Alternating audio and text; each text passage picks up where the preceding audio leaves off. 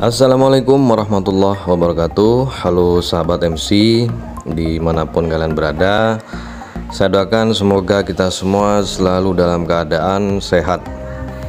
Jadi di video kali ini Saya akan uh, mempresentasikan ya Atau apa ya Menjelaskan Bagaimana cara kita mengatur atau mengatasi memori internal atau penyimpanan ponsel itu yang eh, gampang penuh atau memaksimalkan mengoptimalkan kinerja ponsel kita seperti itu ya. Dan di video saya yang sebelumnya itu sebenarnya sudah saya jelaskan ya bagaimana cara eh, mengatur eh, internal dan penyimpanan ponsel itu sendiri ya dan di situ banyak sekali uh, komen dari teman-teman eh, kendala-kendala uh, yang saya pelajari. Dan di video ini kita akan bahas lebih detail lagi mengenai penanganannya ya. Dan sebenarnya untuk penyimpanan hampir habis ini penyebabnya adalah yang sering kita uh, lalai atau sering kita uh, tidak pedulikan ya. Itu seperti adanya penumpukan aplikasi yang tidak penting ya atau ada aplikasi beberapa aplikasi yang sebenarnya tidak kita pakai namun tetap aktif. Itu yang pertama penyebabnya. Kemudian yang kedua yaitu penumpukan file atau data ya.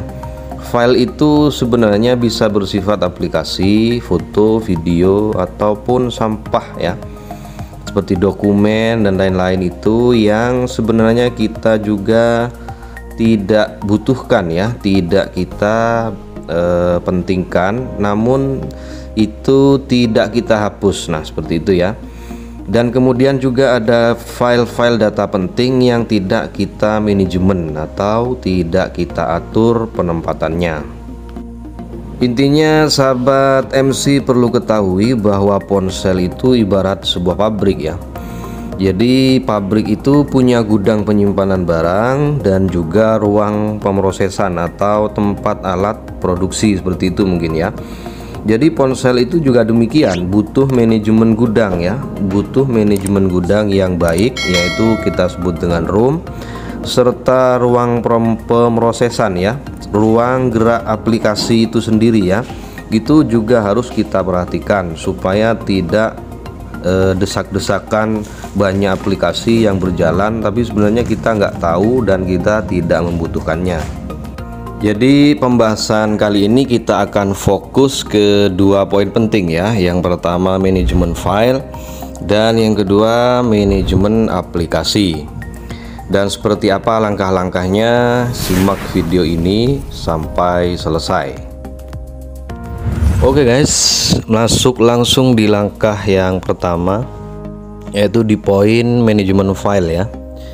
Jadi di manajemen file ini atau pengaturan tentang file-file ponsel kita itu yang pertama-tama kita akan melakukan eh, pemindahan file ke SD card ya. Jadi kita perlu memilah atau memindahkan beberapa file yang tentunya bersifat penting kita pindah ke kartu SD dan di pemberitahuan memori internal hampir habis kita langsung masukkan saja kartu SD cardnya ya seperti di video ini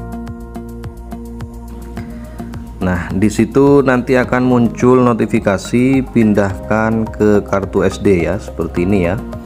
Jadi kita langsung saja tekan opsi pindahkan ke kartu SD. Kita klik. Nah, di sini kita akan diarahkan ke menu seperti ini, transfer satu ketukan ya. Jadi kita bisa memilih di sini apa saja file yang akan kita pindahkan yang bersifat penting ya. Jadi di video di foto audio dan dokumen ini kita perlu pilih beberapa file yang perlu kita backup ya yang perlu kita eh, anggap penting. Jadi kita pindahkan saja berupa foto video dokumen ataupun audio ya. Di sini gampang sekali kita lakukan uh, untuk proses pemindahan. Intinya semua data yang sifatnya penting silahkan pindahkan ke kartu SD.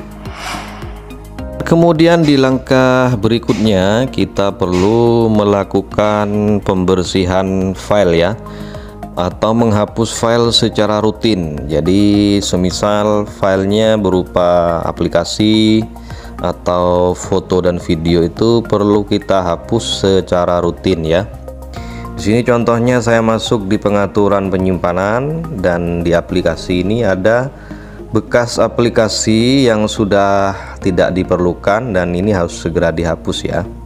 Ini sebagai contoh menghapus file-file yang tidak kita perlukan ya melalui pengaturan penyimpanan ya atau via file manager itu juga sama jadi file-file seperti ini ini perlu kita hapus ya seperti file sampah atau file-file yang tersembunyi yang harus kita cari melalui file manager.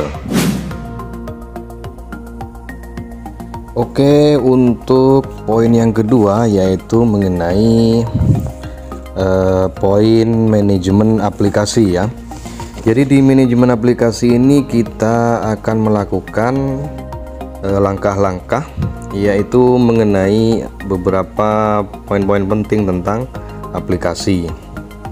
Dan yang pertama kita akan lakukan yaitu menghapus aplikasi atau uninstall atau nonaktifkan ya. Jadi di sini kita perlu masuk ke pengaturan, kemudian kita cari uh, manajemen aplikasi ya. Nah, di sini terlihat ada daftar aplikasi. Kemudian kita bisa pilih beberapa aplikasi untuk kita uninstall.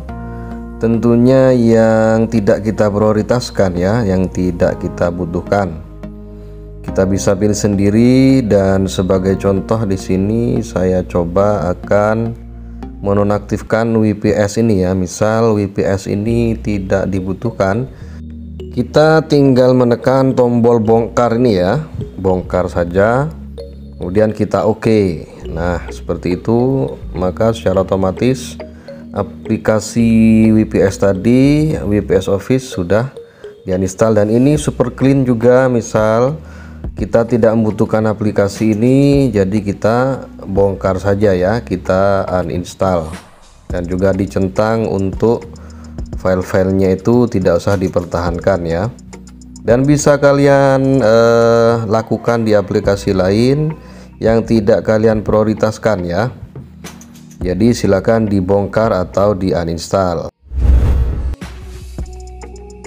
dan di manajemen aplikasi berikutnya kita perlu menghapus data ataupun cache-nya aplikasi ya.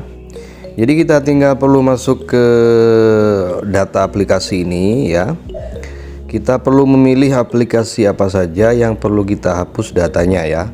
Hati-hati di aplikasi pribadi seperti WhatsApp, Instagram dan apa lain-lain ya yang bersifat aplikasi eh, pribadi ya.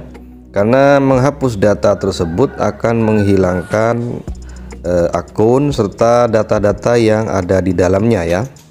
Jadi kita perlu hati-hati di sini untuk uh, mencentang atau memilih data aplikasi mana saja yang perlu kita bersihkan.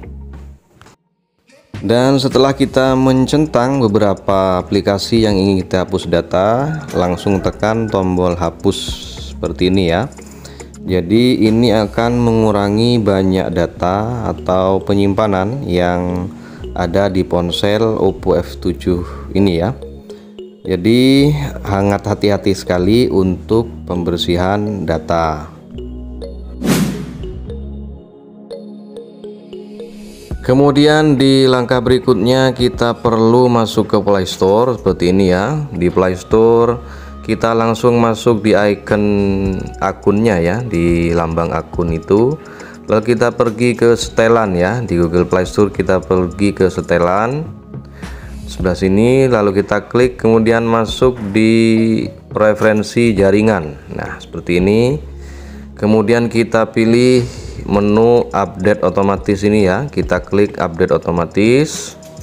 Kemudian aktifkan atau kita pilih yang menu jangan update otomatis aplikasi jadi tujuannya biar nggak update secara otomatis. Oke sahabat sekian dulu untuk tutorial mengatasi penyimpanan penuh pada ponsel Oppo F7 kali ini ya. Semoga bermanfaat dan jangan lupa untuk selalu nonton video terbaru dari MC Channel. Terima kasih sudah menonton. Wassalamualaikum warahmatullahi wabarakatuh